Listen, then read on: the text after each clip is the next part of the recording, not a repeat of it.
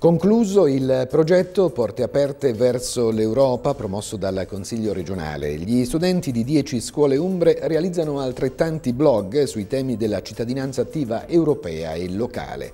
Il servizio. Concluso il progetto Porte aperte verso l'Europa, strumenti ed attività di promozione per una cittadinanza attiva europea e locale. L'iniziativa è stata promossa e finanziata dal Consiglio regionale dell'Umbria d'intesa con l'Ufficio scolastico regionale e in collaborazione con la Scuola di amministrazione pubblica Servizio Europa. Il progetto ha coinvolto oltre 250 studenti di 10 scuole secondarie superiori che si sono cimentati nella realizzazione di altrettanti Euroblog. La figura di San Benedetto e l'Europa, la droga e la legislazione europea, l'intolleranza e l'accoglienza, il lavoro e poi ancora la condizione femminile, i diritti dei minori, la povertà, l'ambiente.